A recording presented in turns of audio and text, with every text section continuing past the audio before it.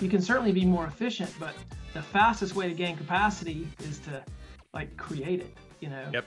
And there's there's more than this, but automate, huge. You so much efficiencies. And a lot of times why people don't automate, again, going back to the brain, that short-term pain that we think's going to happen is just so much more intense than seeing that long-term gain of the efficiencies and so we often don't do it it's just it's almost like you know primeval brain that hey you know i'm not going to do these things short-term pain blah blah blah i'm not going to but they just have to get past that and realize hey i can save 500 hours in the next two right. years if i start automating.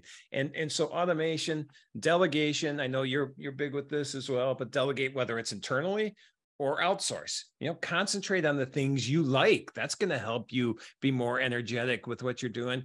And outsource either internally you can outsource anything anything you do someone else can do find Especially the things you today. don't yep Especially exactly today.